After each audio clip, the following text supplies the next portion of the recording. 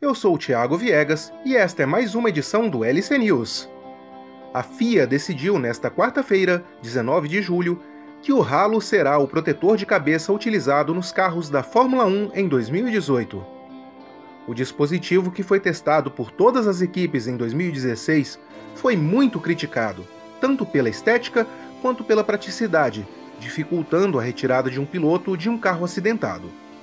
O uso do ralo foi colocado em votação para as equipes e, segundo a revista Auto Sport, nove delas votaram contra a adesão ao projeto. Mesmo assim, a Federação Internacional de Automobilismo não cedeu à pressão dos times.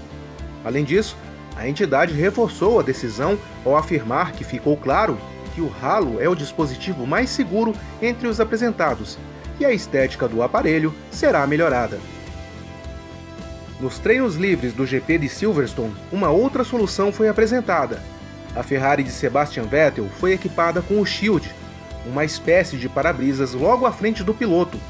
Mas o acessório foi testado uma única volta e imediatamente vetado pelo alemão, que relatou um enjoo por causa da distorção da visão provocada pela peça. E você, o que acha dessa decisão? Deixe sua opinião nos comentários. Esse foi mais um LC News.